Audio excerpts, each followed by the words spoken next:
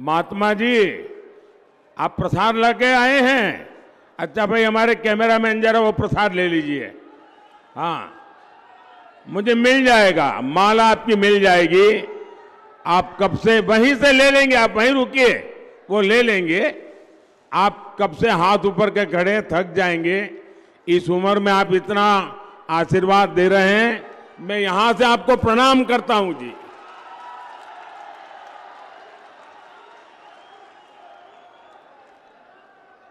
भाइयों और बहनों, मोदी विकसित भारत बनाने के लिए, आत्मनिर्भर भारत बनाने के लिए दिन रात एक किए हुए हैं।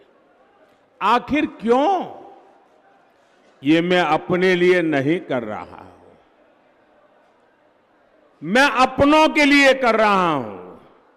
और मेरे अपने मतलब मेरा भारत मेरा परिवार।